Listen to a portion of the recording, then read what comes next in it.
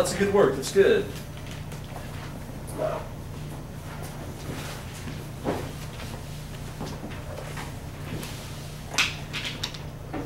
Okay, the quotient of a number and 10. Now, we haven't talked about quotient a whole lot. We've mentioned only a couple times. What is a quotient? An answer. Divide.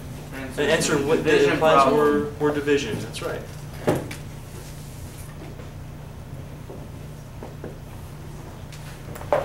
And a number. What'd you pick?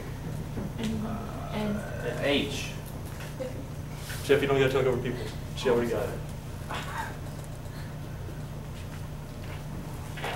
So the quotient of a number and 10, the quotient goes in order like a sum or a, well, I already gave that one away. Um, like most of the other sentences do. So the quotient just says the first one divided by the second one.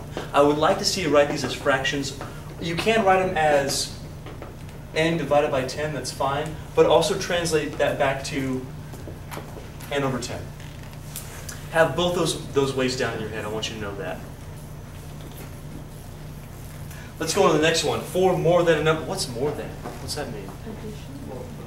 Okay, so we're, we're adding somehow. We're going to underline that put plus. A number, I'll pick k. Now, does it go 4 plus k or k plus 4? What did you guys put? 4 plus k. Why, explain that. Why would it be 4 plus k? Uh, Wait, no? More than a factor. That's right, it is. It works just like less than does. Remember, less than says it's referring to the second thing, it's coming after that. Now, this is appropriately written. 4 more than k would be k, and then you're doing 4 more than that. The difference between this one and the less than one is this. Addition is commutative, which means you can flip it around and it doesn't make any difference. Do you understand? So if you get this one wrong, it's not going to come back and really kill you. If you get those ones wrong, it will. I would like you to write it as k plus 4 because that, that ingrains it in your head and makes sure you really get it, that you're adding 4 to the end of a number. The more than says, go to that number, take 4 more than that. That's why it's at the end of that. But it works the same as a less than. It's just not going to have as many problems as if you messed that one up. You with me on this, folks? Okay. So you want like that? I want it like that. Yeah. For the more than, yes, it goes at the end. It's just like the less than. How about the sum? What's the sum do? Multiply? And I mean, yeah. Addition. Okay.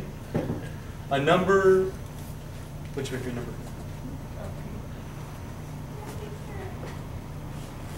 The sum of a number is seven. What happened? Oh, oh, what now? Seriously? That's really gross. Cool. I dare you to catch. No, don't catch it. You did I know, right? Don't catch the rat. Okay. Yeah.